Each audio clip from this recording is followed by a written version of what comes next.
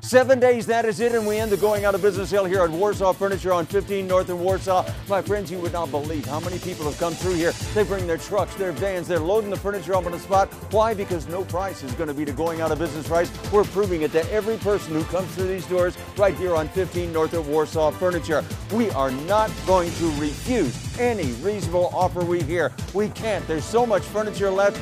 You have a lot to choose from. All you got to do is get here in these next seven days.